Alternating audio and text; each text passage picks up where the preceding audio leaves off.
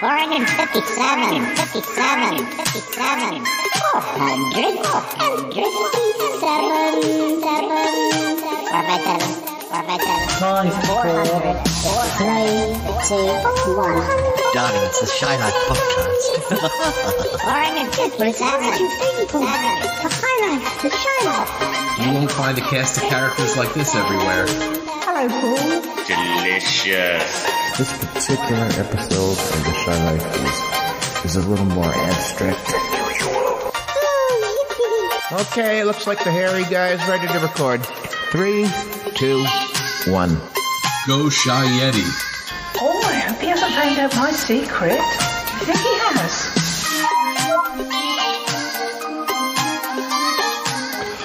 Hello and welcome to yet another episode of the Shy Life podcast with me, Paul the Shy Yeti. How are you doing? I'm all right. Yes, uh, we're back again this time to to talk about some music, and Martin's back as well. Hi, Martin. Hello. Hello, how are you doing? uh, not too bad. And uh, well, we're going to enter a new decade this uh, this episode. Um, We're gonna we're gonna end up colliding with you and Nick working yes, we are. Yes, I think we've probably got about five years we can you and I can do, and then we then we'll either go back to the fifties or go to Australia, or well, we'll see how we go. yes. We'll find some we'll find somewhere. Yes, to but uh, so we have 1970, and uh, I got lots of facts and figures, and and, and uh, after I've run the main theme music, we'll, we'll get stuck into them. Let's run that theme music. Time for my old buddy, old pal from across the channel, across the pond, Bob Chandler, the Shy Yeti. He's not that shy. Oh, it's the Shy Life podcast. Yeah. All I wanted was a pie. And then I hatched out of an egg. Okay, bring the mic over. He's ready to record. it's the quiet ones you've got to watch, you know. Is it metaphorical? Is it is it deep? Is it deep? Good boy. He's not all that shy, is right. Gee. Blimey, Governor, it's the Shy Life podcast. If you thought that was bad, just listen to this. Oh, I can't wait. I can't wait for it to begin. It's the Shy Life Podcast. It's positively glowing.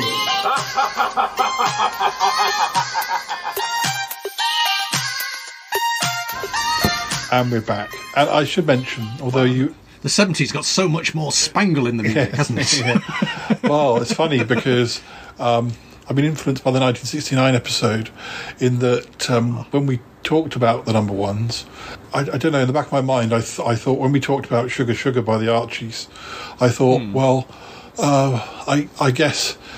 You know, they're a cartoon band. They might actually be of interest to me in a sort of in the same way that, that the Monkees are in, of interest to me. Um, So, I, for about two or three weeks, I had a an open document with the Wikipedia page of the Archies, intending to actually listen to other Archie songs, which I eventually did do, and then discovered that there were, you know, a lot of, of pretty good Archie songs, not just Sugar Sugar. In, along it, So you went down an so Archie's down rabbit Archie's hole. rabbit hole to the point where I've actually bought. I think I now I'm now the proud owner of about three or four Archie's vinyl from the you know original pressing. The entire Archie's Yeah. back catalogue. They'll be they'll be so grateful they've had them in their the garage for forty years. yeah. Um, but um, unfortunately, Wow. it's not. So what did you discover? Well, uh, I, I discovered that they did five albums um, between 1968 and 1971, and uh, Did they write most of their own stuff, or was it mostly written, you know, like like Neil was- Diamond yeah, wrote it the was, it was sort of written by people who who who knew their stuff and had uh, other hits behind them, and the the, the main Right. lead singer it was is sort of in, involved pretty much all the way through, and is quite a, a well-known singer in Mm-hmm. America for being on other hits as well of other by other people, and um, but. Uh, yeah, uh, I've enjoyed. I've enjoyed uh, um, listening to them. They are very bubble gum, but I, you know, that's not a, not a bad thing. Unfortunately, we won't be coming across them again in 1970 because they They've shot their yeah, bolt in yeah, '69. they, they did have more than one hit in the states. Well, um, Hmm. but they they just had Sugar Sugar in the UK. but um, it's a shame because because some of the songs that they did have other lesser hits with in the states, I wouldn't say were even the best songs. Um, the, uh, I mean, Sugar Sugar is definitely a good a, a good one, but there are other ones which I like Yeah. far more, and also album tracks I like far more than some of their lesser singles. Um, So had you heard any of these before? no, or were they all no, new to me. Um, But again, there, There's literally nothing familiar from the Archies No, apart from some sugar, sugar. Yeah, um, they don't even do, as far as I can remember, they don't do even do a, you know cover versions of a famous song. You know, like as, fill, as filler, which these- often bands did do the odd, um, Yeah. the, the odd uh, cover versions. But So these chats are starting to cost you a fortune. yeah, but let's let's see who we can find in 1970 to wipe out your bank balance this well, month. I mean, the funny thing is, I, I read an article with um, Michael Stipe, which I can't remember. Oh yes. But if he if he was talking about it in at the time or more recently, possibly somewhere in between, but he was talking about shiny happy people and how e- even though that was very popular for them, it, it's not their favourite song to perform because it's not very representative of the rest of their stuff. Um, but they he was saying that when they wrote it, they want they wrote it as an ode to bands like the Monkees and the Archies, which they are the age to have grown up with. Um, so, so it, was nice to sort of read that and see how, you know, it, the, they they were something that he thought or the band thought was worthy of, of um, you know, this is a, a genre that it would be nice to write a song in that style, which. Uh, I must admit that uh, that that when you when we do these recordings, I do tend to find that uh, when I'm cooking over the next couple of weeks, I do tend to pull something off the shelf that that we've been Yeah. talking about. So uh, it, it's definitely it definitely triggers something in you. You know, uh, I mean, I find that, that certainly since not so much when I was buying vinyl, but, but when I started buying um, CDs, I I started buying more compilations than necessarily albums. You know, I, I've filled in some gaps since, but uh, sort of best ofs and greatest hits and stuff. So, but they actually sort of sit quite well when you're uh, when you're sort of chopping vegetables. They really do. They, it wasn't that I needed to spend money to hear the Archies. That came later. I was able to hear everything I wanted to because I went on Spotify and there was like the the top fifty or like a playlist of fifty best um, Archie songs, and then I, they even had the albums. So I'd listen to everything before I decided to start Crikey. buying them. So I, I, it's not like you used to where you thought, well, I think I might quite like you know that that, that band, so I'll buy an album, uh, and you had to part with the money before you, um, you know, before before you, you you heard, and sometimes you were disappointed. But uh, uh, that's the one one of the good things about digital music. That, uh, um, but I, I do find that listening to vinyl now is is a better way of sort of focusing because you know you I, I can't wander around the house with my earphones in because I start dragging the, the record player around the house with me, which you know unless it's on on wheels. you should get it on wheels. It'd look like it'd look like Arcturus, wouldn't it, rolling Yeah. around behind you? Well, get a sort of bubbly top on it. well, listeners may remember that Yeti Uncle John had a um, uh, a record player that um, had magical. Uh, he, when Toppy was teaching him to be a magician, he recorded Yeti Uncle John a vinyl instruction manual, which um, and then Yeti Uncle John strapped his record player to his back and went out outside and used it like a, a vinyl Walkman. But uh, um, That's the th- that's the thing, really, isn't it? They don't work particularly well in cars, L- uh, LPs, vinyl LPs. strapped to your back. And it's the same the same thing.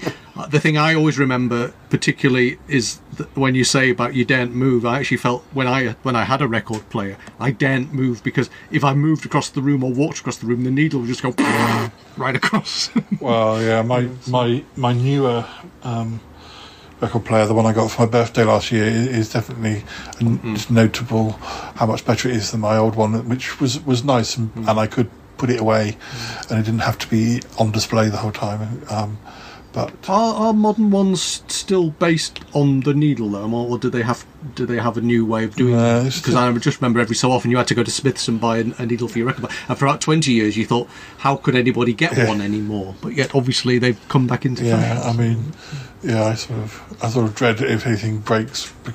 Trying to find it, but I'm sure as it's a new modern record player, it won't be so difficult. But uh, uh, Tell that to my washing machine. anyway, let's not dwell. So, Well, I thought we will start with, as usual, a, f- a few facts. I, I should probably Hmm. um, ask you before. factoid of the week of the I. I should ask you. Factoids of the year. I should ask you before we continue uh, if you think Hmm. you can remember anything from 1970. Uh, Oh well, I mean, I I uh, I think I've mentioned it before. I, the, the, the the most vivid, specific 1970 memory is, is the Cadbury's advert for me, which is the in the supersonic. Whatever they were, seventies, isn't it nice to know they're still Cadbury's chocolates? One of today's great tastes, Mm. and um, and I do remember that, and that's how I can time that because a lot of my memories, it turns out, I think I was twelve and I was fifteen, or you know, or I think I was twelve and I was six, or you know what I mean. There's it sort of gets mashed up a bit sometimes, but I can specifically time that, and of course, in 1970, I would have been mm. six, so so there's not a great deal that I can you know specifically remember I, I mean i can remember being at junior school and i can remember moments from that but i couldn't tell you you know i mean i could tell you if, when i was in mr phillips class or miss norman sell's class or mrs machin's class or whatever from school from junior mm. school. So i know i know what year it was from the teacher if you see what i mean. But that's about the only thing i've got. I mean the other the other thing quite a few of us i suppose i can tell you what year certain things are because of the television i know i was mm. watching and knowing when it was broadcast because being as as you are a, a fan of old television you do tend to know more about the dates things were on. You know so you know that that was 1971 because it's got Roger Delgado in it or whatever you know. So um, yeah it's it's it's kind of weird. So 1970 specifically apart from a chocolate advert and because I think we were I mean this was we were still in the era of space flight moon landings. Yeah. And we were still in the uh, so I would I would have been interested in that. And the, and I think we were also uh, still in the era oh, I've lost my thread the um, the uh, so we had I say moon landings were on television but there was all sorts of I mean, color television. We we would have still had black and white television till around about 1974 but uh, I can sort of I can just remember bits and pieces you know um, but yeah it, it's a bit vague still but we'll we'll see. I could say, you know, my sister was nine years older than me, so she would have been fifteen. So the music uh, was, I mean, she would have been proper teenager, listening, buying singles and what have you. So actually, the music that was in the house was probably a lot more familiar than a lot of. You, you hadn't started watching Doctor Who, or if you had, you don't remember it. Um, I think my. It's interesting that I don't remember the 1970 series from broadcast. I have a very strong memory of, for some reason, the opening scene of Colony in Space, which I think is my earliest actual Doctor Who memory. I think it is. I, I uh, because I also do remember, you know, the the people applauding when the Master was caught at the end of the Demons. But I think that must have been from the repeat, because it was about the time of the repeat that I became quotes a fan. If you see what I mean, I can genuinely remember being excited because there was a repeat of the Sea Devils, for example. Really excited because it came on unexpectedly when the cricket was supposed to be on. All that kind of thing. So, so I don't think 1970 quite quite was on my radar. I mean, we may have watched it. I may have been in the room. I literally, you know, kids being kids at that age, I may have been playing with my Lego and not really paying much attention, or having a nap. Um, well, there, there were one or two very famous bands that disbanded in 1970. The Beatles being the most um, famous. Of course, Uh, yes. Also, the Bonzo Doodah band, although they did reform, Oh. and Simon and Garfunkel. Twenty minutes Yeah. later. and Simon and Garfunkel split up, but uh, they again did things together later on. But uh, Ah, well, the concert in uh, Central Park LP or double LP is is one one of my finest uh, vinyl possessions. Actually, I do like that. Although again, it's one of those ones that I had on vinyl and then never bought as a CD. Oddly, which I've done a lot. This, that's that's the thing that always surprises me is I've not replaced quite a lot of them. So they are actually on a shelf, never to be heard again. you know? uh, the the Dave Clark Five also split up, although th- they became Dave Clark and Friends for a few years after Ah, that. so they became the Dave Clark Four, the Dave Yeah. Clark Three. It's a bit like Genesis; they just kept Yeah. chipping away. Um, so other events uh, that occurred Uh, Syd Barrett released his first solo album, The Madcap Laughs. Um, Wow. Because that would have been based on his reputation, I suppose. Uh, because by then he'd been famously, um, hadn't he, Yeah. gone famously into Yeah, recluseness, but uh, and, and for for uh, was it was it drug related reasons? I, I- yeah, I, vaguely remember yeah, there was some. well, or something, some- something triggered by by, by the Yeah. drugs. Um, uh, But obviously, what I was saying is that would have been uh, probably a, a, a good selling point in some ways because that was that was the thing people knew him from in, in the public domain. it's quite sad, but um, the the day after that happened, uh, Keith Moon from the Who ran over his ran over and killed his chauffeur, um, trying to escape from a mob outside a outside a pub.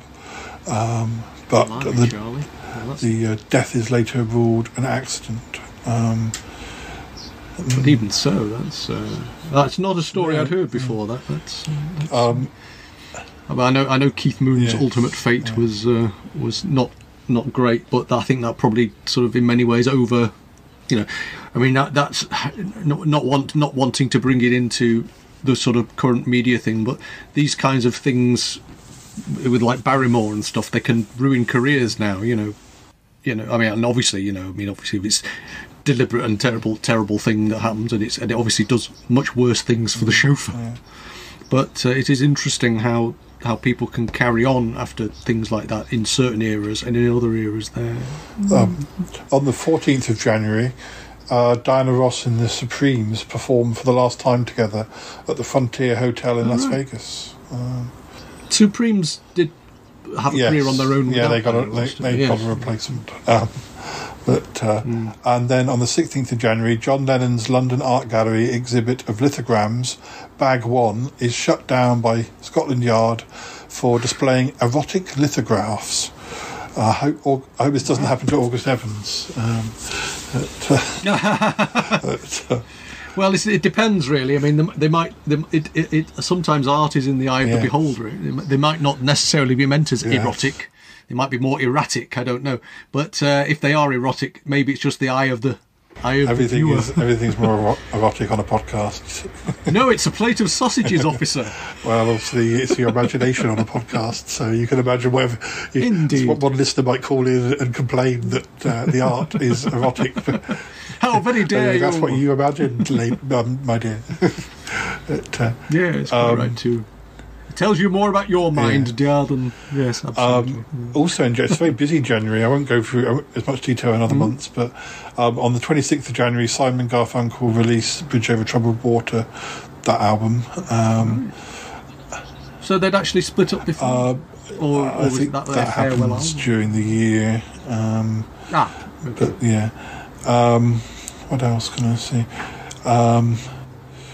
Uh, the film The Magic Christian, starring Peter Sellers and Ringo Starr, is premiered in New York City. The film's soundtrack al- album, including Badfinger's Come and Get It, written by Paul McCartney, is released on Apple Records. I don't think I've ever seen that film, although I, I know that I know of it. I mean, I know the title.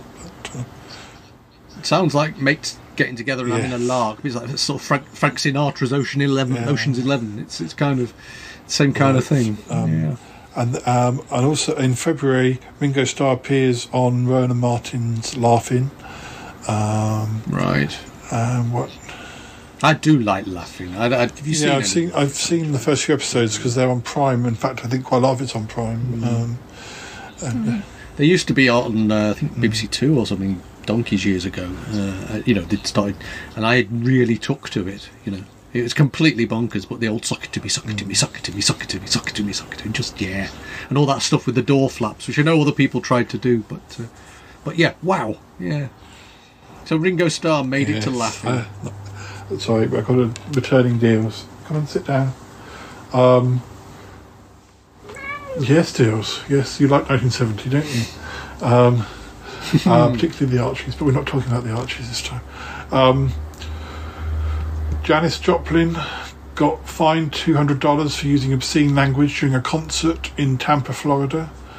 And um, this is even more bizarre. Col- although, although I think I was aware of it, although I didn't realise it got to the stage of an actual album being released. Uh, on the 6th of March, cult leader and suspected murderer Charles Manson releases an album titled Lie, the Love and Terror Cult to help finance his defence. So, um, Well, that worked out well for him, didn't it? and, um, on the 19th of March, David Bowie married Angie, um, or Angie Barnett as she was then. Angie Barnett. Um, There's glam. There's glam, isn't it? yes.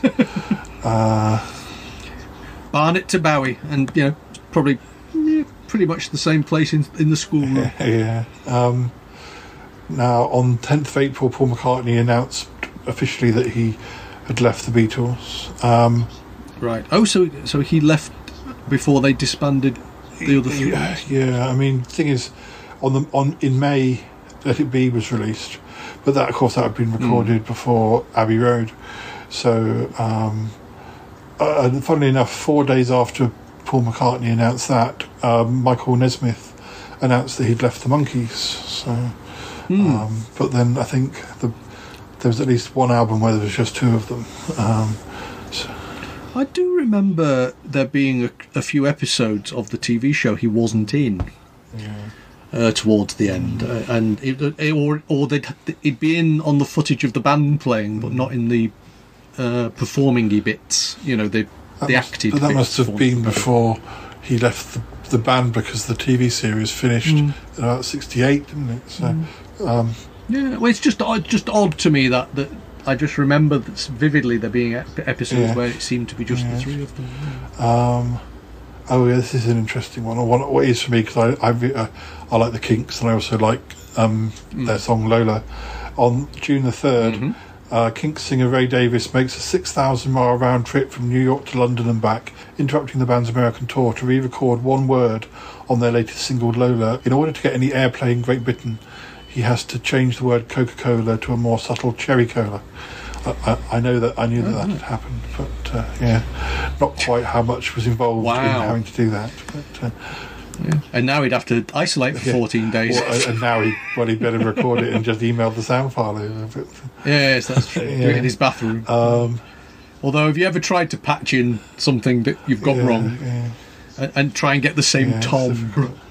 It's not and, easy. and, and in a song it would be um, you know there's a there's there's there's a few jumps in in Charlotte podcast episodes where I've had to do that but uh, in a song it's it's sort of would completely spoil it uh, you, you young professionals, you'd never notice. You'd never notice. uh, October the 4th Janis Joplin is found dead in her bedroom um, uh, she was well she was 27 she she was one of the 27 club I don't know quite where that that thing about the 27 club started if it was I'm not quite sure who was the first to start.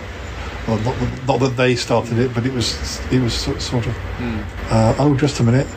Um, I should I've, I've read out of I've read it out of order because on the on the 17th of September um, Jimi Hendrix uh, uh, dies. Um, and um, well, no, he, he no he makes his final appearance on the seventeenth, and he dies on the eighteenth, and he was twenty-seven. So that's, I guess, with those two dying so close together, um, and them both being the same age, that might be where it came from, or the sort of. Um, oh my! Uh, I was going to say, uh, no, I thought for a minute I thought Jim Morrison went the same year, but it's October the thirtieth.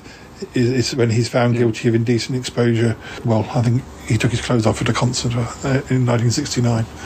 But uh, as you do. um, But that's interesting because again, people look for patterns, don't they? I mean, what was the year a few years ago where lots of celebrities died and people were just going saying, "Oh, it's the year, it's the year," and it's just you know, it's probably no more than any other year, but but people suddenly started seeing patterns that weren't necessarily there. You know? the yes, well, three, three more little things before, before we move on. Um, the, it does say that on the 12th of December, the Doors play their final concert with singer Jim Morrison. Um, after the um, concert, the, the Doors decide they will not play live anymore due to Morrison's unpredictable live persona. Um, the, the, the other thing is that the, even though Paul had left, yeah, well, he'd said he, he'd left, they, they didn't officially announce that the band had split until the 31st of, of December 1970s. So Oh, I guess, yeah. End of the year Um, for, for yeah, tax reasons. um, the, the, the the last the last note um, that seeing as we mentioned the first one, I should mention this. I didn't know about this one. Um, the on the twentieth of November, Kinks singer Ray Davies flies to London to a London studio to re-record another one word, um, and, and this time it's for the single Ape Man, um, because uh, it's considered that the, the the line "the air pollution is fogging up my eyes" sounds too much like well some other word. Ah. A, another word, yes. And, and, and to be fair, it, it does a bit. Uh, half the time, I'm not sure. I don't know. So what's the Yeah, I'm replacement? not sure actually. They don't, they don't actually say what the No. change of line is. Um, but uh, on the, on the He still is dedicated, isn't he? He's a Old- old Ray? dedicated, yeah. Dedicated. dedica- He's a dedicated follower of changing lines in his dedicated song. re-recorder of uh, lines. Yeah. Uh, Perhaps he wrote wrote new lots of new songs as he was on the plane. So maybe in in the great scheme of things, it was a good. Well, that's that, that's around the time that I, I'm more of a fan of the '60s and very early '70s, up until that album um, of, of the Kinks, um, and, and then. But it's sort of after that they became more famous in America. And although I have listened to those albums, and every time I listen to them, I enjoy them more. That um, I I remember when I first listened to them back in the '90s, I I didn't enjoy them as much. So they've taken longer to kind of No. they, they they just seem they sound a bit more like other bands um, that are around. Whereas in the '60s, they're they're kind of uh, Yeah. having a, they seem to be more important, at least in the UK music scene. Um, Still, still, Happy New Year, no Yes. more Beatles. Happy New Year, no more Beatles. As uh, we, we, we'll miss the Beatles in our we little will, chats. we will, we might, we probably Or the yeah. Beatles. we um, we don't act, they and they don't actually have a number one. I'm sure they, they must have had. I'm sure they must have some hits in seventy, but they don't have number ones in seventy, so we won't be discussing them much today. But uh, Crikey, there we go. Well, we should we should we should tip our hat and Yeah. say a fond farewell. um, so All you need is all. so we'll we'll obviously we'll start in the UK, and um, fortunately we start as we um, we start as we finished with the first four weeks of 1970. We have Rolf, Rolf Harris, Two Little Boys. Ah, um, because he'd, he'd had two weeks at the end of '69, and uh, now he, had another, he has another four weeks. Six weeks, weeks, of that. yeah. That's that's amazing, isn't it? I mean, when you think about it, it's not even. You know, I mean, I know it's catchy, but anyway, let's move on. There's, there's about four number ones this year that um, had six weeks, and then there's one that has seven weeks. Um, but the first, the first totally unique number one of the '70s um, is uh, a, fa- very, a favorite, very famous one. Should it ever come up on point? it, it's it, "Love Grows Where My Rosemary Goes" by Edison Lighthouse. ah, Edison Lighthouse. Well, I'm a bit fond of lighthouses, or at least I have been recently. So that's. I should have used that. I should have thought of it. Never mind. I should have should have put that on the top They, of my shoe. they had we they had five weeks number one. I what I don't know about them is sh- should I explore them? should I explore their music? And um, I, th- I think with the Archies, the initial jumping point was the cartoon side. Although there isn't that much that's readily available of, of the Archies in cartoon form. Um, Of course, the Edison Lighthouse was forever turning up on Blue Peter. I believe they put a hat on it eventually so they could land helicopters on it, so that Lesley Judd didn't have to go hurtling across in a bosun's chair. So, um, so maybe maybe it's Edison Lighthouse before the hat. Um, it, doesn't look like they did have any oth- other hits. They had other singles, and um, I think the highest they got in the UK was number forty nine. And although they had a number three in New Zealand, they had a uh, they had a yeah That's a bit they had a number three in New Zealand with "She Works in a Woman's Way." Ah, whatever that and- means. but the what, what what for, for half the yeah, money and, and and to get molested by the boss? Um, I- what is a woman's way the, of uh, working? It's just the uh, mind. the um, the one that got to number forty nine in the UK is called "It's Up to You, Petula." Petula. Uh, I don't know if he's singing to Petula Clark. That sounds like the answer to the other question, doesn't it? Oh dear. Well, if you want to quit, that's up to you. And, and, and then there's another single called "Everybody Knows." I think this story is is. Uh, and, and, and another single called "What's Happening." This, this is there's a story amongst these, um, yes, I Um, think so. and uh, and there's one single called "Find Mr. Zebedee." yes, I, I, I, I uh, yes, the song titles. Uh, I maybe have to explore them when I'm editing. Must- um, now, our next number one for three weeks um, is a is another uh, kind of weird one, which doesn't really feel like it fits in. It's "Wandering Star" by Lee Marvin. Oh, blimey, Charlie! I do remember that. Crikey O'Reilly. Now, actually, that's that is that that takes me right back to uh, oddly enough Prestatyn holiday camp for some reason. Don't know why. Don't know why my dad was particularly mumbling a bit. Of, I mean, it's um, well, what's the film? Paint Your Wagon, isn't it? Paint Your Wagon. Interestingly, a film that uh, Clint Eastwood also sings in Yeah, yeah. Which is which is kind of peculiar. But yeah, no, I actually quite like Paint Your Wagon. I, I, I remember seeing it one day. You know, it was on in the afternoon. I thought, oh bloody hell, what's this? You know, musical bar humbug, and and it, I really enjoyed it. I really enjoyed it as a film. But uh, yeah, I do remember that being played a lot, and I do remember it associated with holiday. So that's kind of Uh, interesting. it- um, as you say, it came from Paint Your Wagon uh, from 1951, Mm-hmm. but the film was made in 69, which is why it's doing so well Mm. in 70. So there is a reason. Do I know where hell is? Hell is in hello. Heaven is goodbye forever. It's time for me to go. I'm just auditioning. Excuse me. yeah, me. you, uh, Ikk, you're fired. Ah, well, the thing is, really, all you have to do is it sounds like you've just got a motorbike engine, and you go.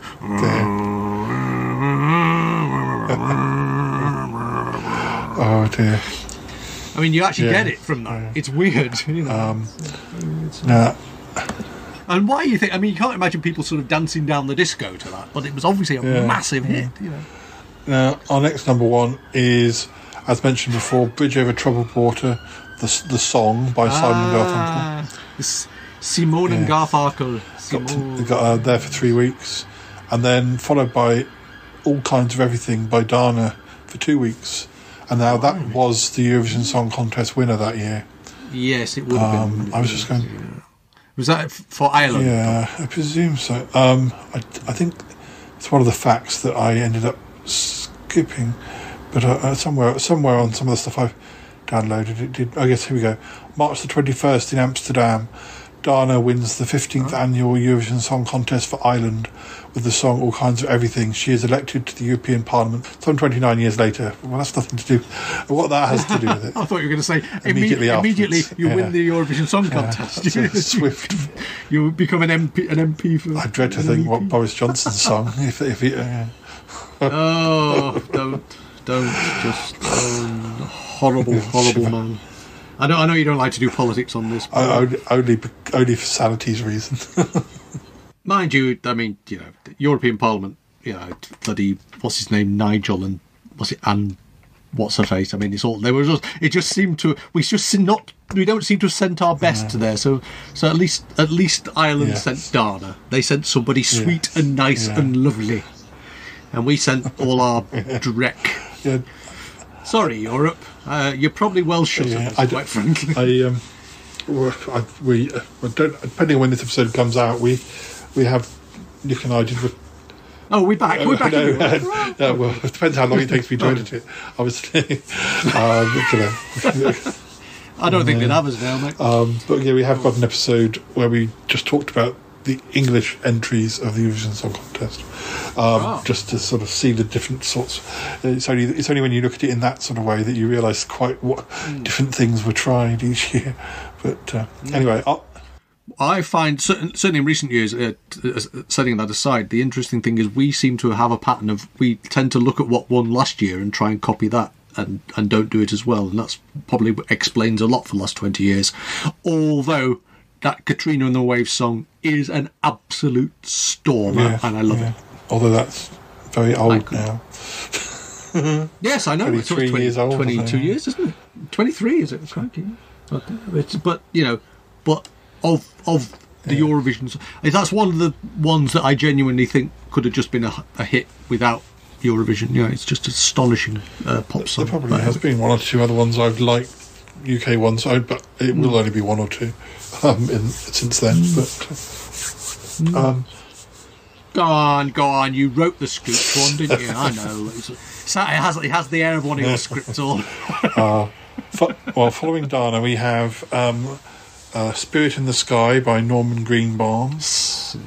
Norman Greenbaum. Oh wow! for, yeah, for two weeks. I can't remember if is his version the original. or Was that a cover even? It's very religious, isn't it? It really is incredible. I remember that again. It was one of those ones. That I think it used to get played quite a lot on Junior Choice and stuff like that. But I do remember that being played at home. Uh, I mean, my mum and dad were well, were, were quite religious in their way, so um, maybe that that was why it appealed. But I do remember that one. But it's got actually for for what effectively is gospel music. It's got a heck of a riff to it. You know, it's a real, real, real catch to it. And um,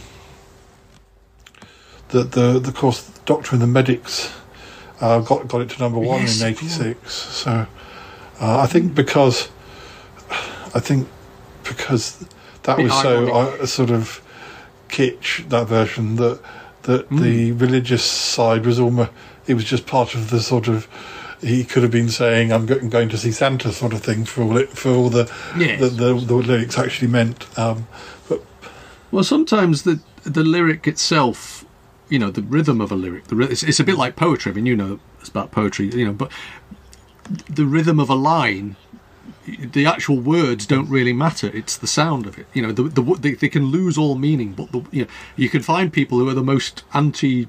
Religious people, but they'll still be singing "Spirit in the Sky" at the top of their lungs in in the disco or or on the dance floor or whatever you want to call it, wherever the young people go to gr- to strut their funky stuff. But um, you know they'll they'll be belting out these lyrics that actually you know in the same way you probably get some Christian discos where someone puts a bit of Sabbath on. You know, well maybe not.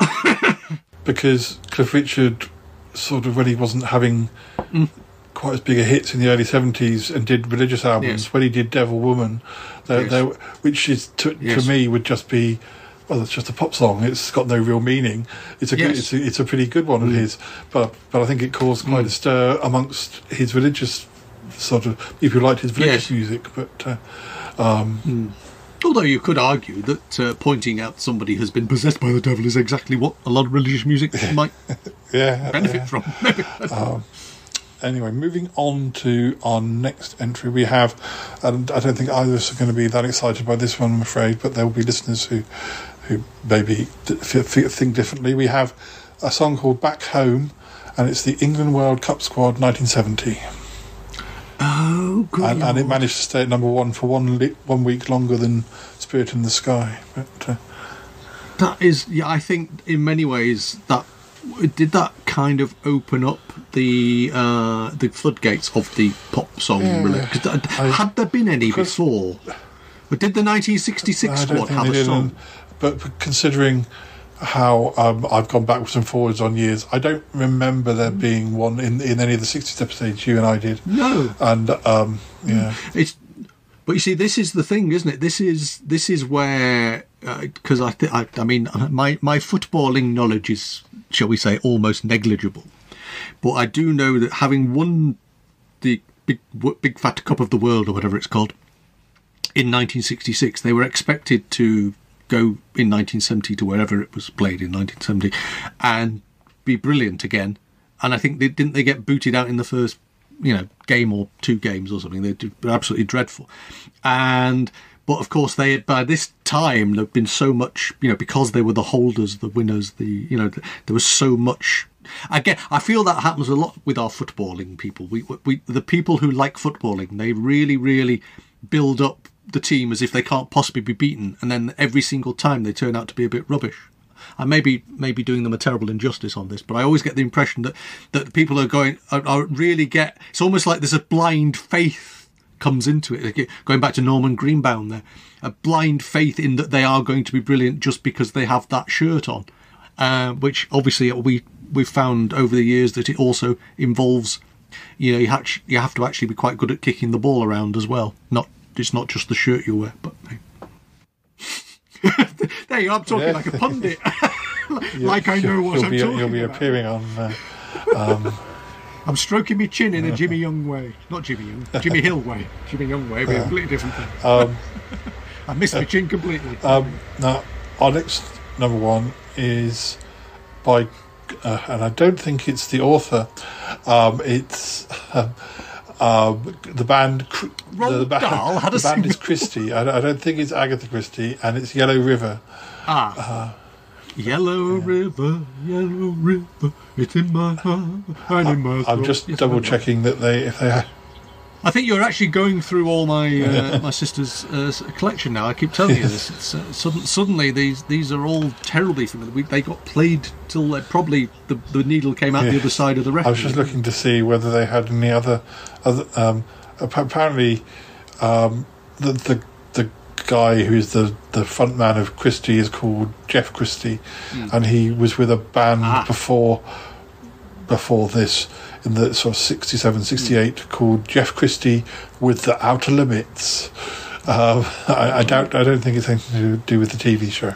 See, that's that's that's an interesting thing. That the number of bands that are basically a, pe- a person's surname. I mean, obviously you get things like Gillan.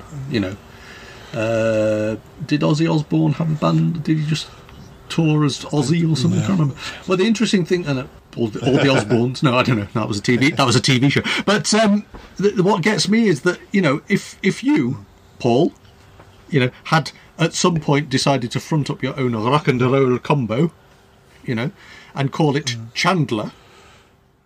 Do you use your real name on, on the yeah. Sometimes. Yeah, yes, Yeah. right. people know who you are. That's fine. That's good. Just want to make sure because I might be I might be letting a cat out of the bag there. Uh, the cat's here. Um, so if you if you'd had a band called Chandler, and then years later, you know, another person came along and he was also called Chandler, would there be a big oh well, you can't call it Chandler because there was a band called Chandler? I mean, there must be a point at which all these names have Well, been used. Yeah, I mean, obviously, when Friends was popular, it annoyed me that somebody was using it as a first name as well. Oh, of course. That, uh, Oh, I mean, just, think you could have actually been christened Chandler Chandler.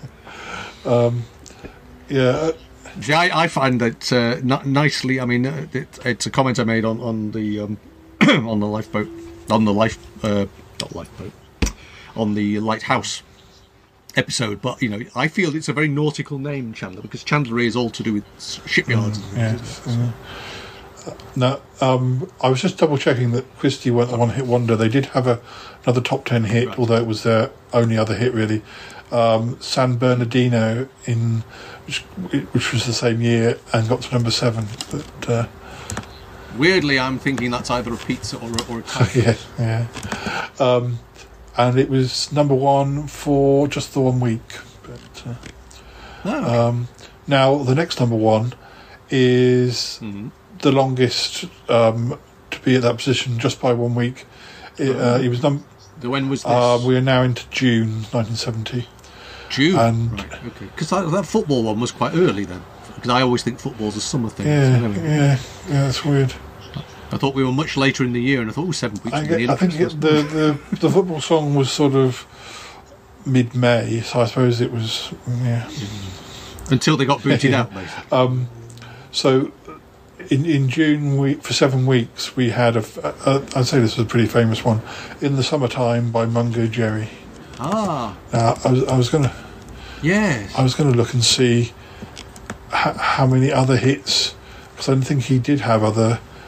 He, Mungo Jerry, yeah, it was one of those. Again, it's real, really weird, but it's one of those phrases that sort of resonates down the years. You know, even if you don't remember the music or you don't remember the person, for some reason, the actual expression Mungo Jerry really does resonate in some. I, would, I better not say the names because, um, in, in, well, let's just say he has a couple of hits in '71, and one of them is is a, a number one, so I won't say the name.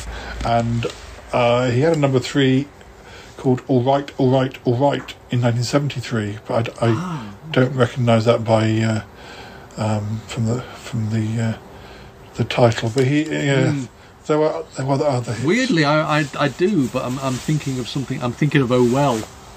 yeah. Oddly, that's that it's that's taken me to Oh Well, which is completely different. But that's where it's taken. me, yes. But Yeah, um, in the summertime, which because there are there are a fair few songs called in the summertime. So it's so it's actually his. It's another one where where probably when I first heard this song, I probably thought that Mungo Jerry was his was his name, but uh, Ray Dorset is the name of the Ah. the, um, the, the, the Dorset. Dorset huh? Um, Let me just see. In the summertime, it was the debut single as well, um, written and composed by Ray Dorset.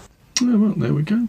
Now the um, the the next number one, although it was only number one for six weeks, it uh, is flagged up on this site as being the best-selling single of the year, and um, it's one you, it's one you you'll recognise, but I I, I I don't know that it's my favourite by him by any means. It is "The Wonder of You" by Elvis Presley. Oh right. That's the wonder. It's, the wonder of you. it, it, I never heard of it. Never heard it. I, I guess we're into the uh, the the leather jumpsuit era of, uh, or the, le- the the biker look, whatever you want to call it, of, of, of Presley. has, he gone to, has he gone to Vegas yet? it feels like he must have done, but he must have been very hot.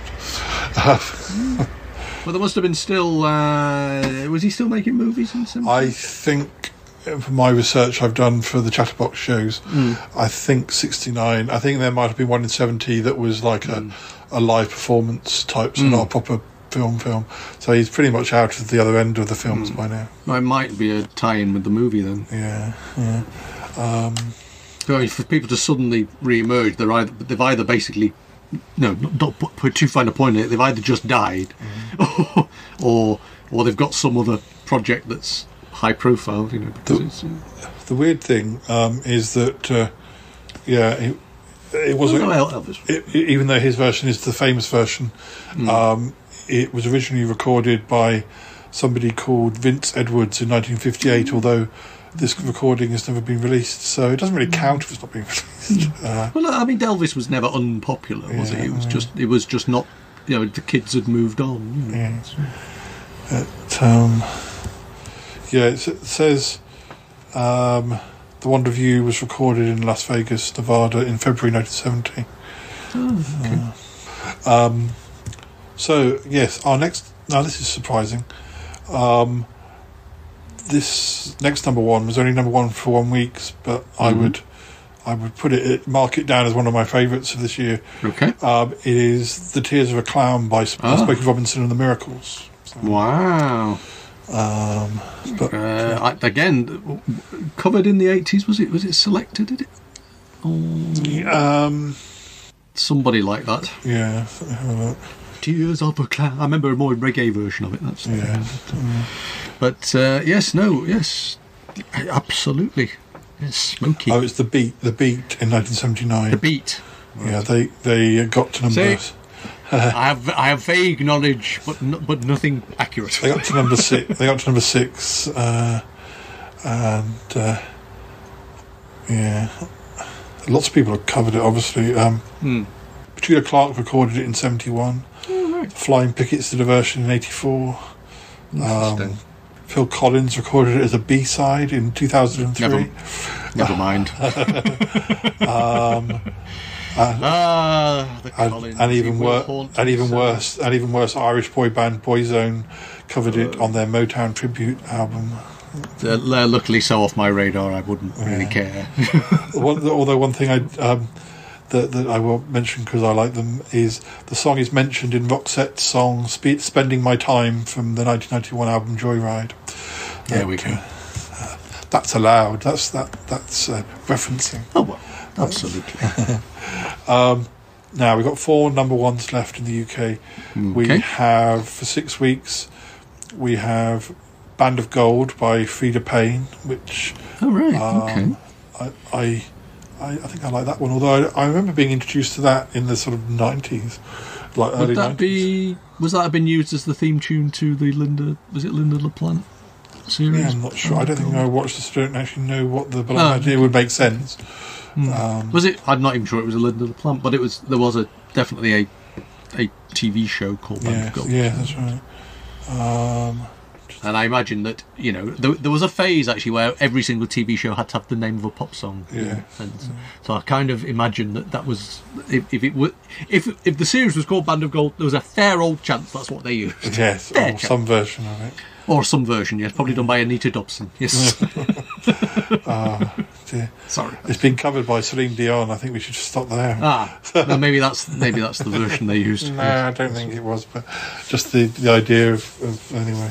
Um, so next for three weeks. My heart will go on. My heart will go on. Now, now Band of Gold was In French. but, but Band of Gold was number one for six weeks, and I mean it's it's a good song, but poor Tears of It's- a Clown. It became a bit of a late night, not nightclub classic, really, didn't it? Band of Gold. It, it, you always feel like before karaoke, it was just the dancing around the handbags, all singing the lyrics as it was on on the on the old jukebox. But um, yeah, I still feel sorry for Tears for Clown. I think that should have been number one for should have Forever. Well, actually, Wonder of You should only be number one for one week, and Tears of a Clown Hmm. could have been six. And that, yeah, we'll we'll, we'll go back and change it. Wonder of You The one week. quirks of history. Tears of a Clown will now be six weeks. And Band of Gold that doesn't affect Band of Gold, but uh, there'll be some Elvis You're- fans out there protesting. You're messing with the timeline. we'll, we'll, we'll be we'll, we'll be getting angry letters, and let, let me say to um, uh, you know uh, uh, re, re angry letters, better than no letters at all. there we go. Have you ever had an angry letter to your podcast? No, only only only from a fictional. I'll get me pen out. oh no. um, but, um, anyway, our You should next at least get one. Sorry. our next number one is number one for three weeks, and it's Okay. um, uh, Woodstock by Matthews Southern Comfort. I, I don't even know if that's a song or whether that's a That's one of those ones that's going to be a massively familiar song when you hear it, and but I just can't think at all what it might sound like. It's one of those weird things. apparently uh, this version um, it, it's got a bit of a history. Um, Alright. This is like the third record, at least at least the third recording. The it's, it's actually a song. Cause I thought I th- I It's got anything to do with the little yellow bird? no, I think it's to do with the concert. Although that could be to do with that. I, but actually, it was originally Snoopy versus the Red Baron. this is the sequel to it.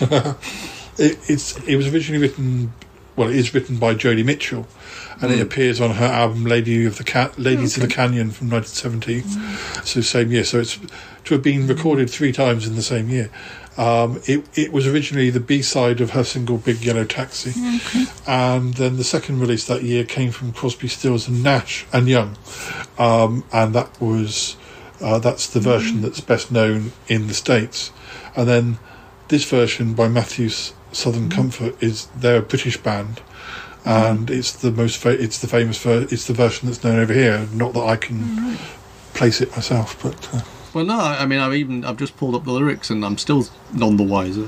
We are stardust, we are golden, we are billion-year-old carbon, and we've got to get ourselves back to the garden. And I couldn't tell you what the t- tune to that was at all. So, yeah. uh, I shall be having to listen when we edit it. indeed, Um, I wonder if Matthews Southern Comfort had any other hits. Let's just have a look. yeah. Matthews Jameson Scotch, Matthews Vodka Tonic. They certainly released other things, but they didn't uh, don't appear to have either that or the, or the Wikipedia page isn't making. Um, yeah, isn't. Uh, we cannot find a link. uh, yeah, there's quite a lengthy story behind it, which we haven't got time for today. That's all we got time for this week, Battle. So we're now on to our penultimate. Um, uh, this must have. This must what, have come what out. month are we in now? So into November for one week, and the the, the song is "Voodoo Child" by Jimi Hendrix, or the Jimi Hendrix Experience, and by which point he had, had been um, gone for a couple of months. So, so Now that you see, that that does fascinate me actually, because I, I mean, I was never when when I was at school. You know, people people talked about Jimi Hendrix, and I hadn't a clue who he was. I mean, I, obviously, you know, la- later years I discovered and everything like that. But I would never have thought of him, uh, although I know he did things like the Lulu Show. So, you know, but I I I I never really thought of him as that mainstream. So I, I kind of thought, yeah, I can understand. I just I'm I'm surprised that he actually had a you know a hit parade kind Yeah, of number I feel one. like we had might have had one last year as well, but um, yeah, I know what you mean. Um, It, it just I don't associate him with the charts, shall we say? Let's Yeah. put it that way. You know, it's, um, so I'm just trying to see. Um, yeah, 'cause I had a. I wonder if this was an old song, but at that point, an old song being re-released because he died because they hadn't done an album since '68, and then there was an album that came out in '70. That's a live album, and yeah. and uh, and it. So I don't know. Let me have a quick explore. See, there's a whole there's a whole episode to be recorded, Paul, on the posthumous number one. Yeah. yeah. um, well, the thing is, I think this might. It might be there might be a, a typo because I thought it was called. It's actually called Voodoo. I, I don't know how you pronounce that. Chile. Um, it's- Child. It is. It, yeah, it, it says it's phonetic a, a, a, a phonetic approximation of child without the D. Oh, I see. It was. It was. Um, the, the, yeah, it was slightly retitled in the UK because I thought it was Child, um, but uh, and, and and it's on some Wikipedia pages it's referred to as Child and some it's as Child. Well, Okay. we're- we're still a few years away from Slade and all their messing around with Yes, spell things. Is that where Prince got the idea from? he was Prince, a big Slade fan. Probably could well have been. Who knows? there you go. You see, Um, you know, Noddy Holder was a massive influence on, Yeah. on Prince. Yeah. Who'd have thought it? It's, it's all the shiny hats. Um, now, our last, our last number one of 1970 is um, Dave Dave Edmunds. I hear you knocking for six Oh, weeks. So- I hear you knocking. See that's so that's basically uh, uh, that, that. So that's what was in the chart at number one at, at the end of the year when the Beatles finally said, "Right, Yeah, call it a day." yeah. We can't compete We with hear, the- we hear can't 1971. we hear 1971 knocking. Fifty years ago, Paul, Yeah. and and we're not letting it in. That's what we should do with several of the years we've had recently. Yeah. Just say no, no, sorry, not not. We're gonna we're gonna stay at New Year for two years. We're gonna have a two-year party, Yeah. New Year's Eve, and not let anybody in. We're not having this New Year. We don't like it. We don't want it. We just think it's not what we want. Thank you very much. It's all very nice of you to offer, but we don't want it. Uh, now, apparently, it doesn't say that the song. It says the lyrics. There were quite a lot of lyrics going back as far as 1920, uh, going back as far as 1928, that refer to like uh, "I keep you knocking, but you can't come in" and all that sort of thing. Trad. But I think the th- that it may have not have been quite the same tune. So um, yeah, it it's it looks quite involved. I don't know if I can, but um, it it was certainly had been in the charts in 1955 in a different version. So um, yeah, and uh, Dave Edmunds was um, He does sound like a plumber, doesn't he? With Dave Edmunds, He's- or a, or a car mechanic. If yeah, and, and that's that's not to denigrate either. They're both noble professions and probably make a great deal more money than I ever did. But um, well, Martin. it- um, you'll be pleased to know we've got Dave Edmunds here on the line. ah, Dave. were you a pl- were you ever a plumber? Sir? Oh, I was. Oh no, that's not, Ah. the, not the right accent. He's Welsh. Um, Well, I was a plumber. Thank you very much. Yes. Yes. Oh God, no. Let's not do that. he's 76, so the chances of him listening to this. Oh, well, there you go. Who knows? He might have time on his hands. He might Google himself and, and, and if you put it if you put it on the codes, you know. Anyway, Fair enough. Um, So he's still it's still around. 76, yes. Yeah. Yeah, it's ju- like I say, it's just one of those. I, I know again, it's not not to denigrate at all, but it, it you know how pop stars throughout the seventies had such glamorous, or you know they would change their name to be glamorous and sort of you know. Uh, I'm trying to think of one that isn't that glittery bloke, but you know what I'm saying. Yeah. And um, and yet here you are with this with this pff, Dave Edmunds, mate. Dave Edmunds. That's that's my name. Don't wear it out. Thank you very much. I am a pop star, and I will continue to be a pop star, even though I don't have a pop starry name. He has he has a connection with. Um, he he ended up. Uh, well, he he he did uh, collaborations with Nick Lowe, and they formed the band Oh, right. Rockpile.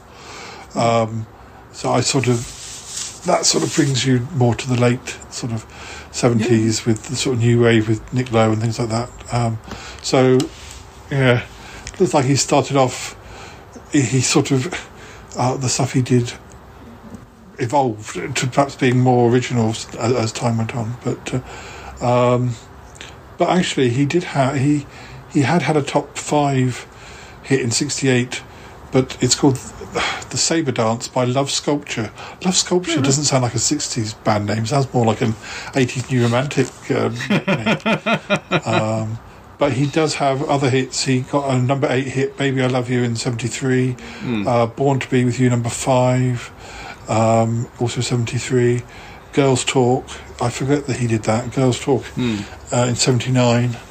Um, "Queen of Hearts" '79, number eleven. So he did have he did have other hits. Um, that uh, yeah. Well, now we ought to just have a look at some of the other hits this year. Um, and so I'm just making sure I don't need this page anymore. I might come back to that in a minute. Um, So yes, uh, other top ten singles that we might have heard of in '70. Um, Marmalade was still around. Re- Reflections of My Life, number three. Um, Come and Get It by Badfinger, number four. Now I remember being quite interested in that song. I, I've never sort of owned a greatest hits of Badfinger, although they did do one No. or two hits that became big for the people. Uh, Without You um, being um, one, one of those. Um, yeah.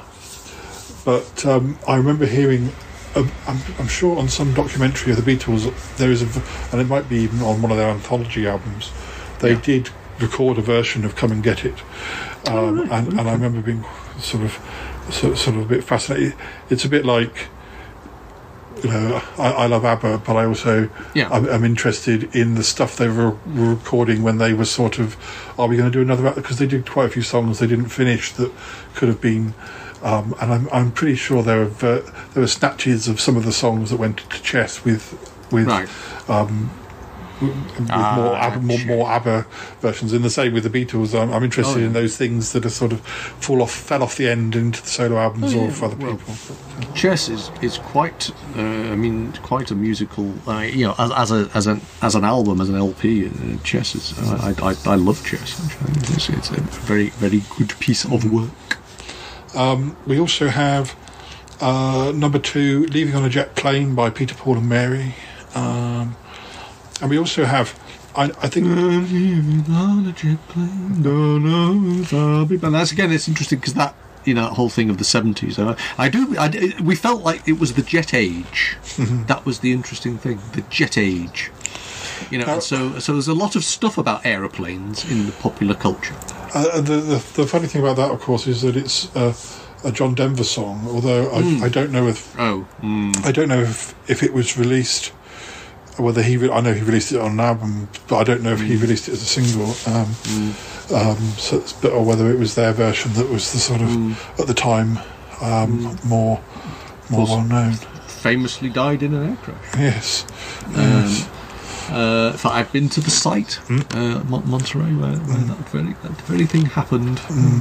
The, um, another weird thing around the same same time is is um, that Jethro Tull, who were far more known for albums, I think, were actually in the early part of their career were having quite big hits. Their their, their song "The Witch's Promise" got to number four in Wow. 1970.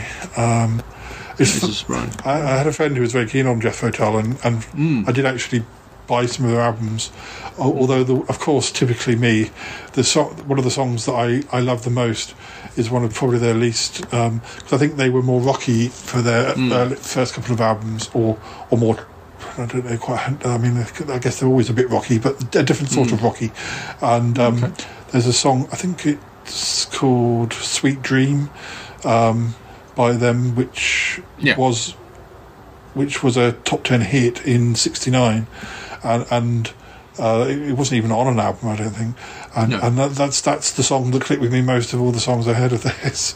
Like the most unrepresentative song of their of their career. But uh, there we go. Um, and and it looks like uh, The Witch's Promise was also a non-album single so um, But I think there are there are those situations with bands when they Yeah. they start where they're not quite sure which direction. They're, they're, they're uh, going back to ABBA. There's definitely there's an ABBA album around the time of Waterloo where th- Hmm.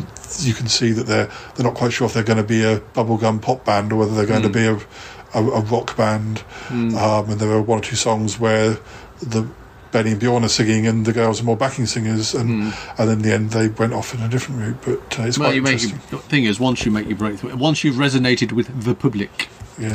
the public, the public are a, a very conservative lot, you know, in a small c, but no, you know, but they, they do they do like to get more of the same quite Yes. quite often. Um, what else have we got? Have we got an early hit by Chicago called Iron Okay. Man, number eight? Uh, I presume it's the same Chicago. Yes, uh, I must admit that, that that's uh, that's a long career that I Yeah. hadn't expected. Yeah, they started in '67, which I wasn't aware of.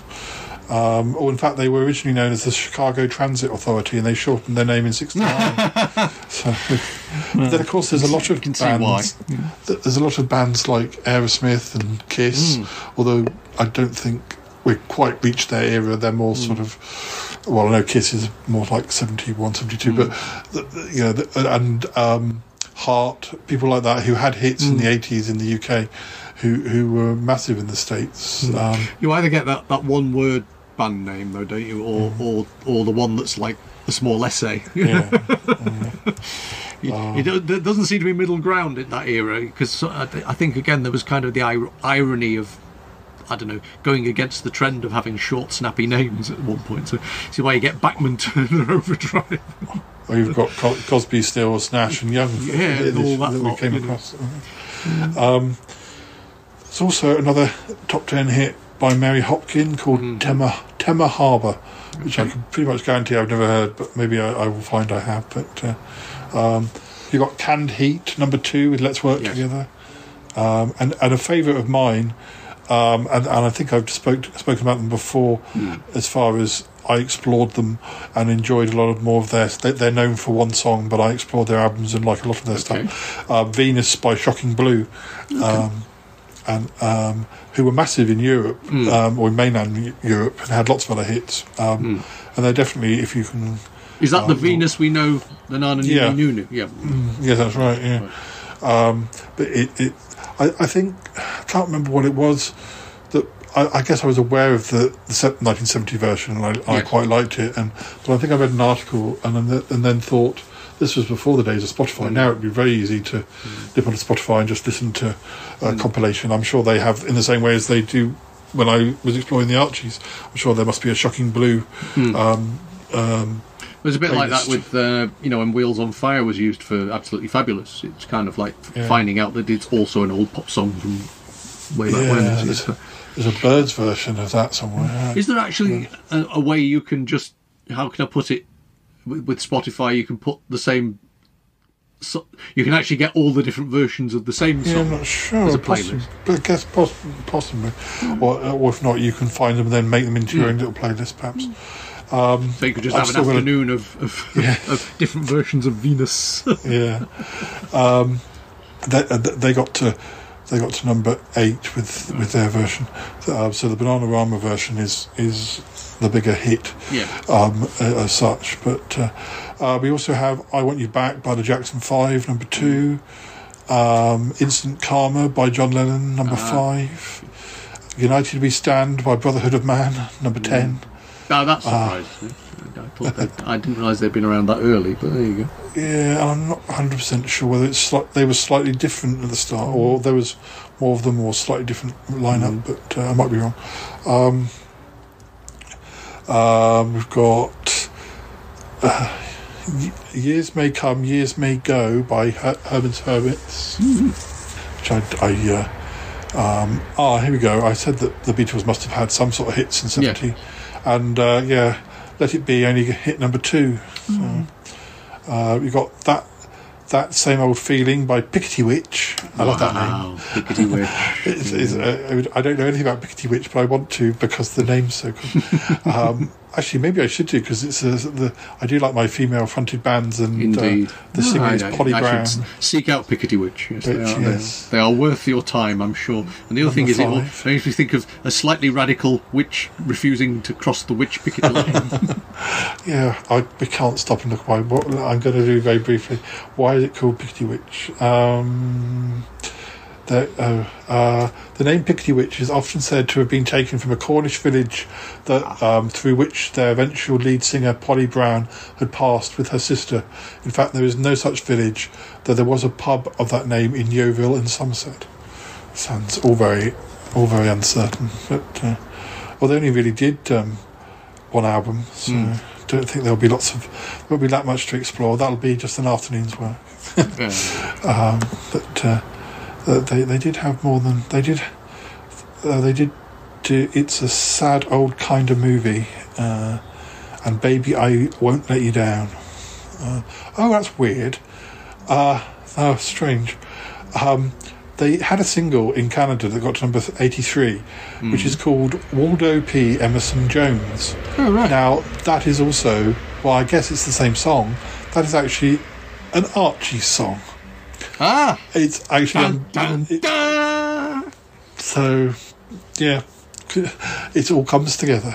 everything, everything in the end, everything is connected. You, you can't get away from the fact. It's, uh, it's just So- one, of, one of those things of life. The whole, everything connects. is connected, and you can't, you can't Se- escape it. seven steps of of uh, Archie's rather than seven steps of, of Kevin Bacon. Um, You might never have thought that, though, would you? You'd never have thought Yeah. that. Just when you set out on the Archie's journey. um, the Pickettywitch connection. Um, uh, what else have we got? We've got Andy Williams, Can't Help Falling in Love. We've got Raindrops Keep Falling on My Head by Sacha Distel, number 10. That will be a cover, though, won't it? Um, probably. Isn't that, that's a, but that's a, Baccarat. a Burt Bacharach, Hal David's, um, it was only written in 69 though for Butch Cassidy Hmm. and the Sundance Kid, so um, I have a feeling it was a, a hit, that version as well. I would say possibly something to do with Saturday night television. Yeah. Um, Elvis Presley had another top 10 hit, uh, Don't Cry Daddy. Ah, Um, there's also um, a version of Nana Hey Hey Kiss Him Goodbye that Nana Rama later covered. Um, the rich territory for the Nana Nini Nunu, 1970 then. yes. Yeah, st- uh, that was by a band called Steam. They were American pop rock band. Um, that got to number nine. Um, you got Young, Young, Gifted and Black by Bob and Marcia, number five. Knock Knock, Who's There? Mary Hopkins, number two. I think that's quite a well-known one. Oh, yes. Yeah, that's, Knock, knock. knock, knock. Who's there? Could it be love that's calling? We could do it. with open if, if, if we sing the same notes, we could do a duet. I They're think not your necessarily the right think- notes. Yeah, just in the wrong order. Um, what else? We got Kenny Rogers and the first edition. Ah. Something's burning. Um, we've got Gimme Dat Ding by the Pipkins. Give me that, give me that, give me, give me, give me that, give me that, ding, give me that, give me, give me that, give me that, ding, give me that, give me, give me that, ding. We've got Farewell is a Lonely Sound. All I can't. I can't help myself. Sugar Pie. Oh, Sugar Pie Honey Bunch by the Four Tops. Wow. I think that- three tops and another top. I think I think Sugar Pie Honey Bunch is probably the better known name of that song Okay. almost. Um, we've got Never Had a Dream Come True by Ah. Stevie Wonder, number six. Um, House of the Rising Sun by Frigid Pink, Mm. number four. Interesting. When when Julie comes around by the Cufflinks. I have a feeling the Cufflinks. Oh yes, the Cufflinks are the band that the guy who does the vocals for the Archies was in. Ah. Um, uh, Ron Dante. Uh, he he is, he is the singer in the Cufflinks as well as being the singer in the Archies. Okay. So I didn't realise that the Cufflinks had a hit over here. I'll have to play these while I'm editing. To Well, take a, a year to edit this episode. Um, we've got a. Oh, this is a. Uh, Well, it's a whole new decade of music to explore. That's the thing. Yeah. Um, we've got a Tom Jones hit Hmm. at number five.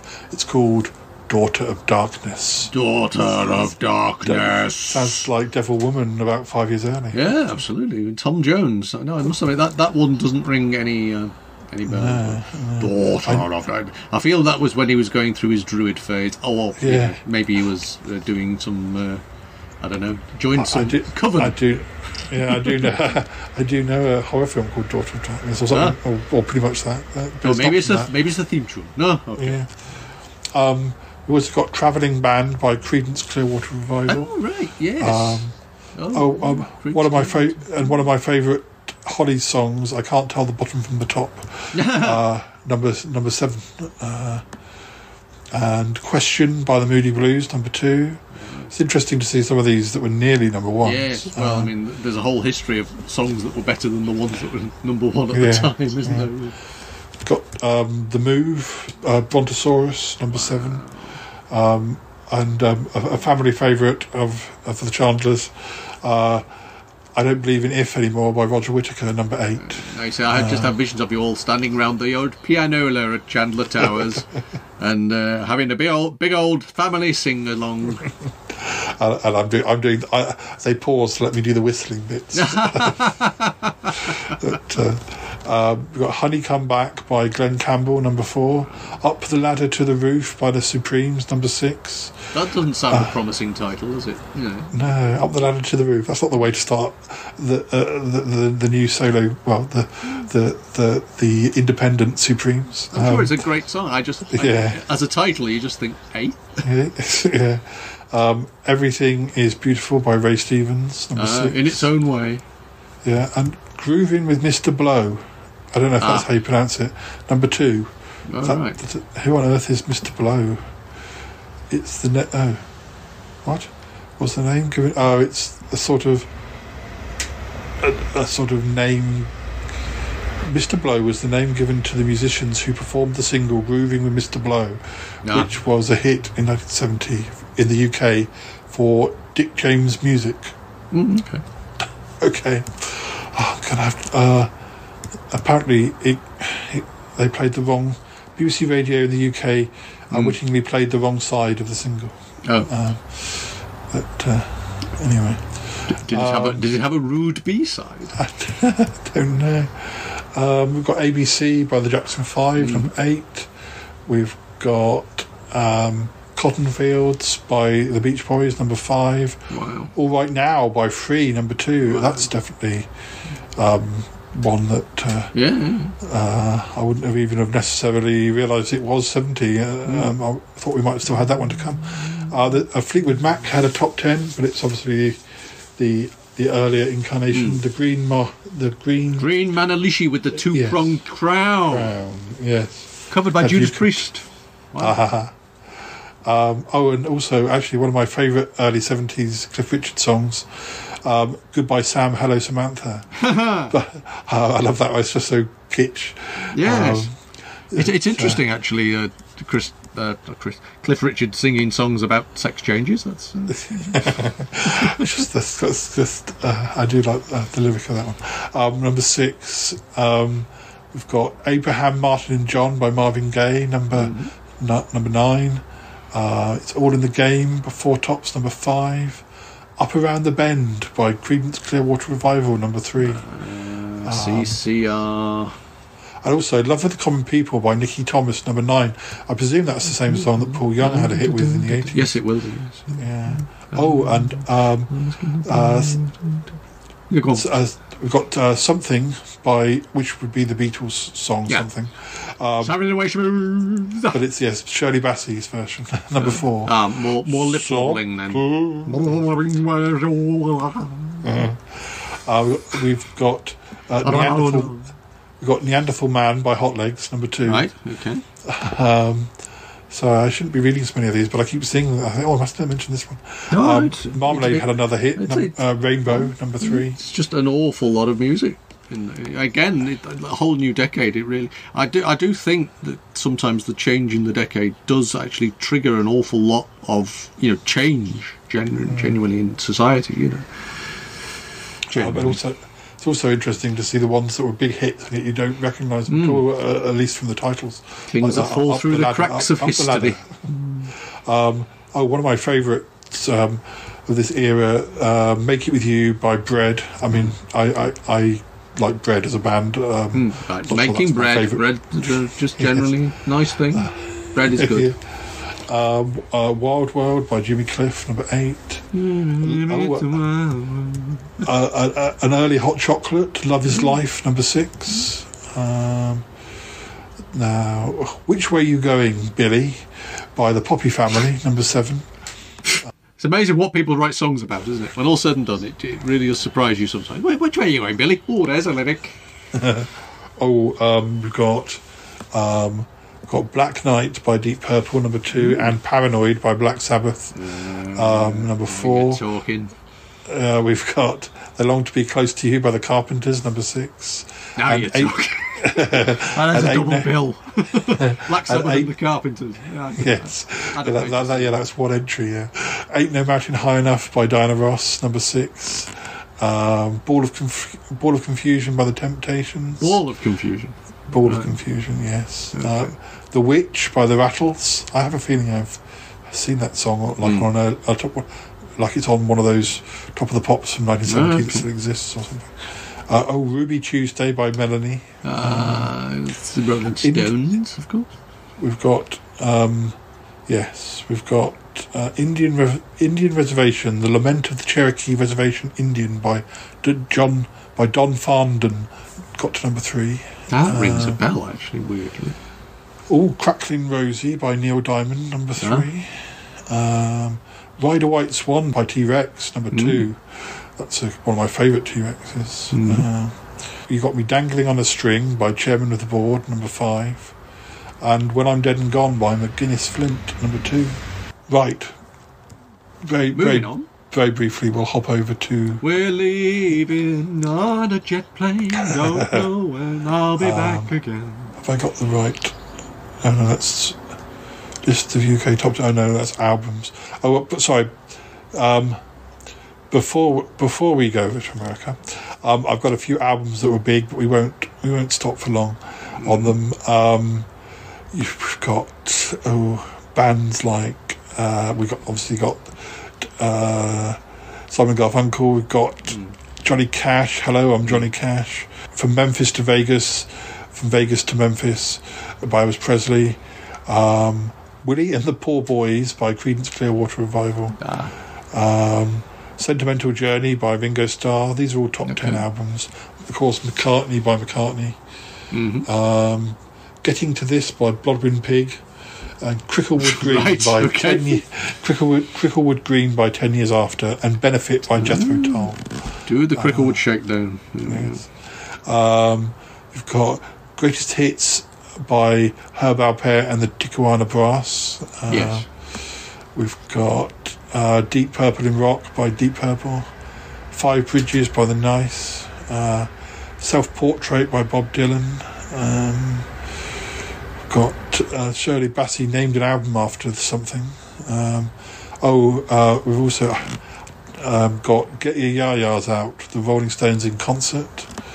Um, Paranoid by Black Sabbath.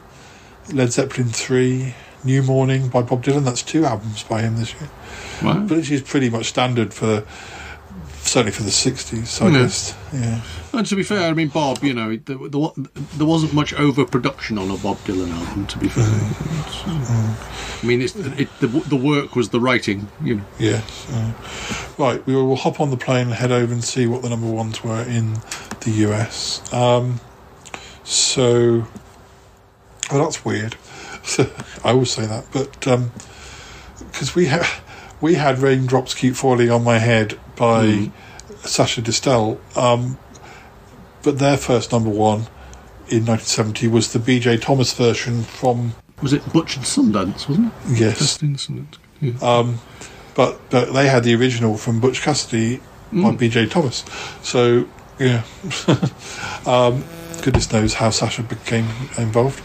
But uh, uh, just like the song. I mean, the thing is, people just used to record, you know, the songwriters used to sell their songs. Yeah, and record them. So, yeah. we, we do actually have quite a different um, lineup uh, for, for, of number ones. It's quite interesting. Um, the next number one was the Jackson Five. I want you back. and then my old favourite Venus by Shocking Blue was number Ah. one in the states uh, just for a week. But uh, then we have uh, Sly and the Family Stone. Thank you. Uh huh. Um, Bit of funk. Yeah, and then we have Simon and Garfunkel Bridge Over Troubled Water, and then Let It Be uh, was number one for two weeks by the Beatles. So they did have, uh, they did. In fact, they have more than one number one in 1970 in the states. Bit, bit of Beatles lag over in America. Well, except that they did better. Um, No, I just mean you know that, that, it's kind of like they hadn't perhaps noticed that they'd split up. yeah, yeah, yeah, well, and the suppose was- fandom was still buying everything. you know. Yeah. Um, then we have the Jackson Five with ABC for two weeks. No, for, yes, for two weeks. Um, then we have the Guess Who with American Woman. Now, Ah, I, I think I think I know the Yeah. a cover version of that by somebody else. Um, can't think who it is now. as opposed to as opposed to the um, top Tom Petty American Girl, which was used all over the place later on. Right. Yeah, I think. Uh, I'm trying to think. Somebody shouty. Yeah. I remember it being a very shouty song. Yeah, I think it was. Oh, I can think his name's on the tip of my tongue. Um, Lenny Kravitz. I feel like Lenny Kravitz did American Woman for some, for something. Um, now I'm going to have to check. Uh, yes, it was from his greatest hits album. I think it's a standard thing, isn't it? To uh, you need to do a greatest hits, just do a quick cover. So Fill up the numbers. yeah. Um, then we have Ray Stevens. Everything is beautiful for three weeks. Um, the Beatles have another number one um, with the long and winding road. Yeah. Um, although it was a double A side with For You Blue, which isn't that that yeah.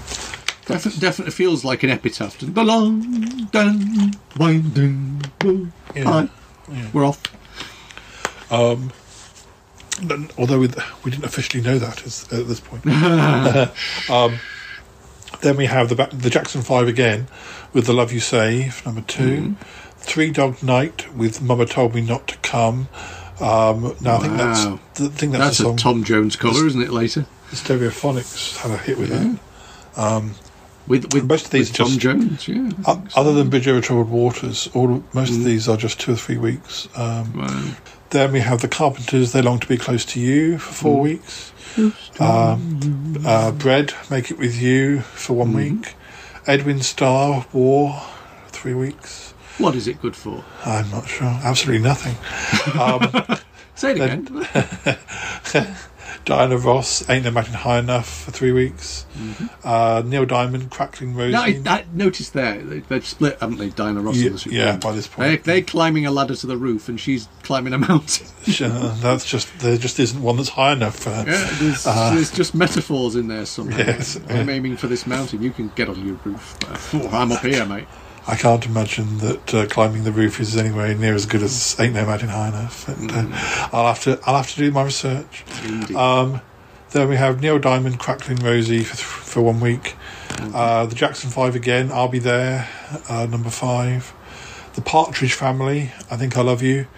Uh, number three. Now, Big on telly then, weren't they? yeah, Partridge Family. and also I remember Voice of the Beehive covered. I think I love you. They did rather a good version in the very early nineties. Um, then we have Smokey Robinson, The Miracles, The Tears of a Clown at number 2 Now I think that came out later in the year than it came out in the UK. And then um, a name that hasn't come up, and whether it gets to number one in the UK next year, I can't remember. But uh, and funny, really, this would have been number one almost exactly as the Beatles announced they had split. We have George Harrison, My Sweet Lord, Ah, which was number one for four weeks. Although I think that does go into seventy-one. So we, we like a bit of George. We like a yeah, bit quite of a. That's the one that got uh, that got um, accused of um, plagiarism, um, and, and and he had to they went to court about about all that. But, uh, Probably, uh, to be fair, played well in the Midwest as well. Yeah, yeah. Um, so I think that's pretty much it for 1970. Obviously, there were lots of other albums that came out, but uh, Well, it's been it's we've- been quite the in. year. Yeah. It has been quite the year. Yeah. Before we go, I need to uh, excite you slightly by um, telling you some of the people who had number ones in 1971, which we will be 1971. Yeah, we've got uh, number ones in 71 by Clive Dunn, Done. uh, George George Harrison. Harrison. Uh, we, I think we know what that one might be. Um, we've got another another Mungo I've Jerry. forgotten by the time. I have no memory for anything anymore. Uh, um, Paul, Paul. We've we've got another Mungo Jerry. We've got Mm-hmm. um, a T Rex number one. We've got uh, Dave and Ansel Collins. We've also got Tony Orlando and Dawn, and we've also got Middle of the Road. M O R. So good they they basically made radio stations. Yeah. Uh, we've got Diana Ross, we've got the Tams, we've got Rod Stewart, Slade, and uh, to end the year we have coming. Benny Hill. so what Wow, a year! so that's- 1971 is going to be a classic 71. year, yeah, especially if you're a milkman Yes, or a granddad. yeah, if you're yeah. a granddad milkman, or you made up both your Christmases are covered. it's uh, it's going to be a funny old year, 1971. That's for Mm. sure. Uh, I hope there's some other songs that didn't get to number one that we want to talk about as well. Dear. well, whatever Anyway. they will they will tickle our our ear bones. yes, well, Brilliant. Um, Martin, thank you for joining me. As ever, a pleasure. And uh, coming up after the end theme, we'll we'll have, of course, Ikk will be covering some of the the big hits we've discussed. But uh, and I promise We one day look forward to it. we'll we'll get Martin to uh, to duet with him at some point. But uh, anyway, the only trouble is if Martin does it, he, he might be too in tune, and then we might get copyrighted. But uh, I don't think. I don't think It's it not- comes, comes that close to the notes. It's not often that I've been accused of being in tune. It must be true. How dare you, sir? Slap.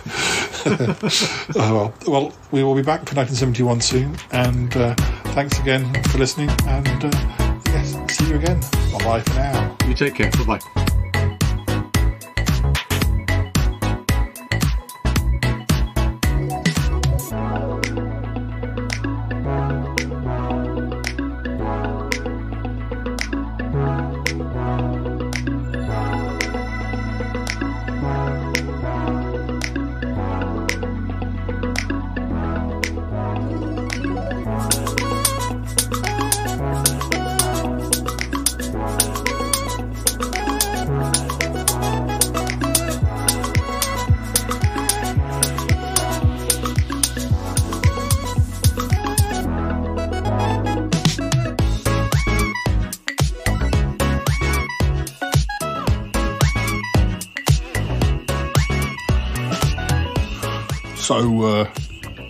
Ikk, uh, how does it feel like starting a new decade? What do you mean? Well, it's a new decade. You're singing the big hits of 1970. It's uh, pretty exciting, I'd have thought. Oh, I don't know. Each decade is quite similar, really. Really? You think so? Well, I don't know about that. Maybe, uh, maybe that's what it seems like to you, Ikk, being an alien, looking in on us people. What do you mean? Well, uh, I mean, I actually lived through some of these decades, and uh, uh, when you look back at them, you can see how things change, fashions, and I don't know things that people like and do, and you know, uh, it all seems quite different. Well, you might be right. Perhaps things are more different than I realise. But uh, to me, it's just la la la la la. La la la la la. Yes, singing. It's all the same. Whether it be the 1950s, 60s, 70s, 80s, 90s, noughties, 10s or 20s, or before the 1950s for that matter. Well, I suppose you have the right to say that. Anyway, I hope you've been practicing. I have. Been practicing very hard. I want to get it right. Uh, you know, It's a new decade, and I want to go on as I intend to go on, or whatever the expression is. Yes. Yes, well, it's good to make a, an effort, isn't it, uh, for the listeners? I want to make an effort for the listeners, yes. You do realise you won't be doing the whole of the 1970s? Oh, oh, oh, well, uh, well, yes. But, uh, of course, then, I, I know that Paul and Nick did half of the 70s, and I did the singing for those episodes. So, so what you really should say is, you've already done half of it. It's not that I won't be doing half of it. It's already done. Oh yeah, I suppose so. I didn't think of it like that. Uh, yeah. Oh well. Uh, I suppose I better let you be.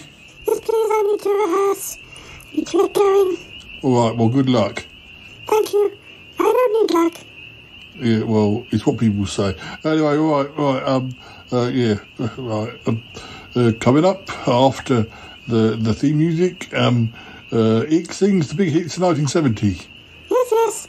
People know that. That's what they're here for. Oh, yeah, uh, yeah, mm, probably.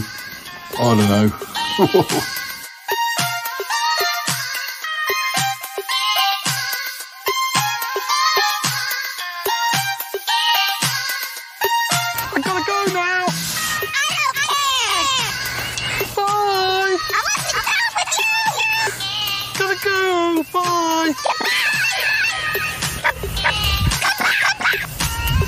Goodbye, goodbye, goodbye, goodbye, goodbye, goodbye. This show is part of the Pride 48 network. Find more shows over at pride48.com. Ooh, such mysteries. yeah, yeah, he's crazy. Oh, yippee! I have a voice. I have a voice. You have a voice. You have a voice. We have a voice. We have a voice. Unique voices in podcasting. UnivazPods.net. Hello, it is me, Icklarian. I'm here to sing some of the big hits of 1970. The first one goes like this. Love grows where my rosemary goes, and nobody knows but me.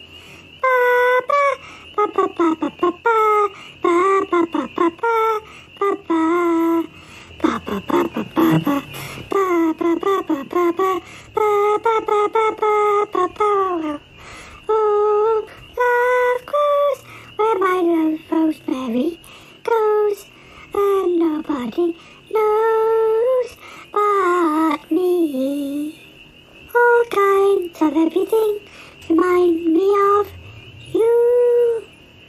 Um, bridge over troubled, like a bridge over troubled water. I will lay me down like a bridge over troubled water. I will lay me down. Yes, I will. Dum, dum, dum. Um, showing up to the spirit in the sky. Uh, and then when I die, when I die, and I go and lay me to rest, and the burden of at the best. Um, so, spirit in the sky. Um, mm, psht, psht, ah. Dun, Some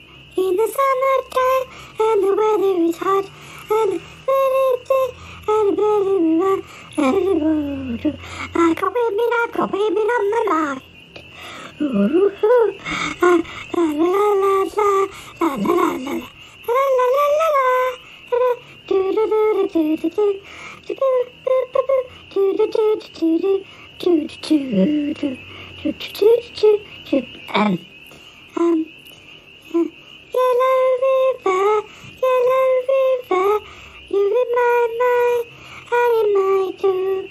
You yellow river, yellow river, do do do, do do do do. The, the wonder of you. I can't remember the rest.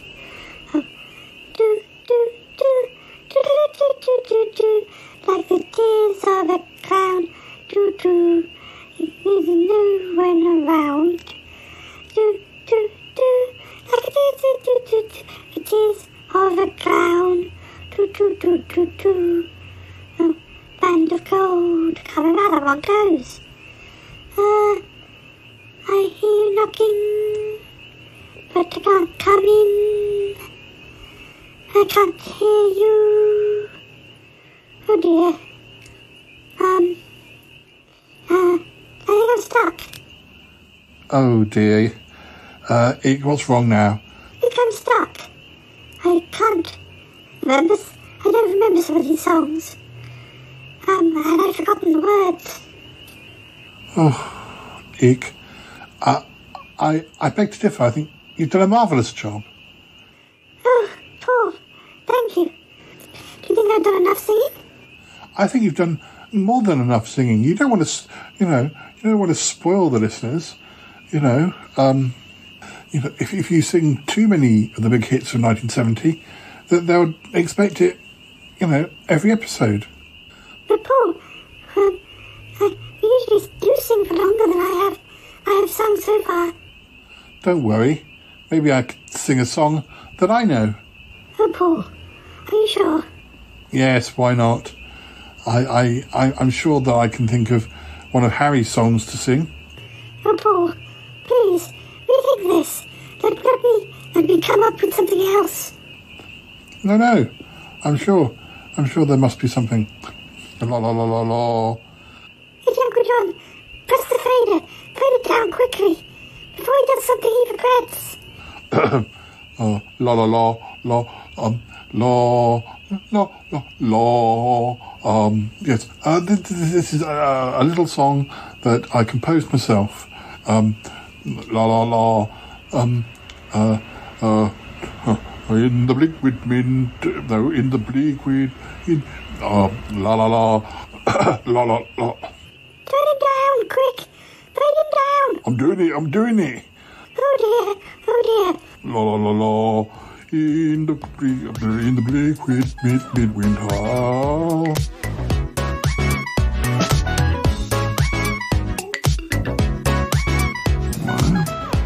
So, oh, we've also got Grandad. So I've done. Oh, Ah. all right. Um, sorry, I've. I'm going to cut. Well, you left the classic I've to last, I've didn't got you? to There, cut. this is the- So I'm going to have to cut that because that's the first number one of 1971. But it, Oh. came, but it went into the chart in 1970. You left the classic till first. Yes, well, we, we, we, we'll, we'll, we'll forget we even mentioned that. no, no, Um, done. We're done. We're done.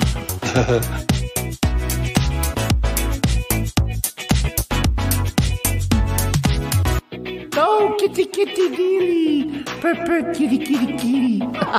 oh, I love Dee Dee. Four hundred fifty-seven. This is just the weirdest thing I've ever heard. Fifty-seven. Fifty-seven. Fifty-seven. Four hundred. And fifty-seven. Seven. Seven. Four by seven. Four by seven. Four hundred and fifty-seven. Eee, I'm flabbergasted. Flabbergasted!